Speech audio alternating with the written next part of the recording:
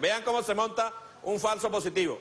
No sé si esto se puede alumbrar aquí, compadre. Voy con mi inglés aprendido en el furrial.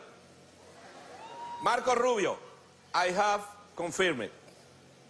Leopoldo López has been taken to a military hospital, hospital in Venezuela. ¿Cómo? Me va a corregir, hablan el tiro, me hablan el tiro. Hospital, in Venezuela, in very serious condition. Este irresponsable dice que él confirmó que Leopoldo López ha sido llevado a un hospital militar en Venezuela en serias y graves condiciones. Qué irresponsable, ¿vale? Y este bicho es senador en Estados Unidos. ¿Ah? Son mercenarios de la política, ¿eh? ¿Cómo se forma un falso positivo? ¿Cómo se forma? Mira, Marco Rubio.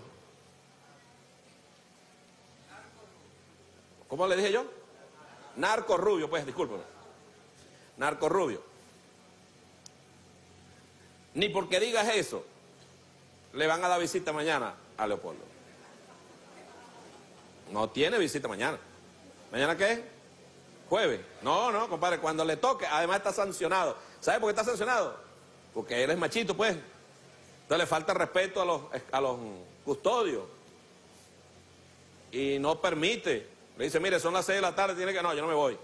Ah, bueno, también asume tu responsabilidad. A nosotros también nos sancionamos, pero no le chillábamos a nadie y ningún senador vinculado con las mafias, del narcotráfico en el mundo no nos venía a defender y Dios nos cuide que nos haya defendido.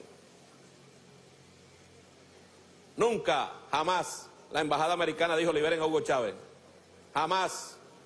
El gobierno de Estados Unidos estamos preocupados por la salud de Diosdado o por la salud de Guasipati que tenemos que sacarlo. No. ¿Ah? A sacarlo no, con los dolores que le daban a Guasipati cuando estaba preso. No, pegamos gritos, ni nos paraban, no, ya cerramos la puerta. Ya cerramos las puertas.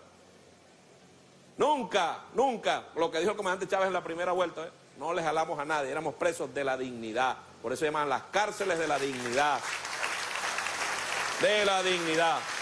No hay visita para Leopoldo López mañana. Olvídate del tango que mi camarada Gardel desafortunadamente ya no está. Sigamos escuchando a Hugo Chávez, que ese sí sabe política. Mándelo.